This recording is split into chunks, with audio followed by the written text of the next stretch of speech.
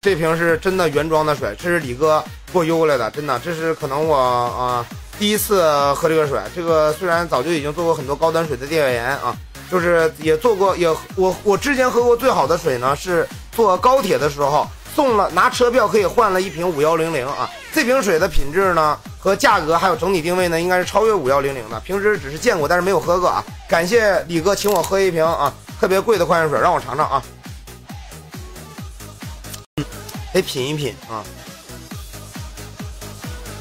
嗯，没有没有白开水烧开的那股啊，对不对啊？那股纤维的味道，但是确实也没啥味儿啊，也不带什么气泡啊，一般般。我先干了，这瓶水有点凉啊。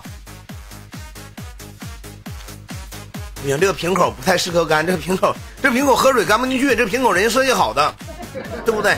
也非常顾虑买家的感受，人家也知道你花十八块钱买瓶水得慢慢喝吧，不能一口气干下去。所以说这瓶水啊，瓶口很小，瓶底很深啊，干不下去。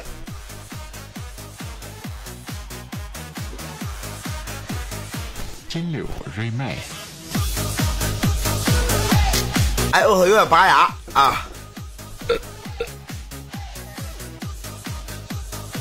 因为东北嘛，东北现在室温都快零下了，然后。你看瓶子现在有的地方还上霜呢啊！这边帮我灌点农夫山泉，嗯，以后我就这瓶子水，啊，自来水不行，自来水不行。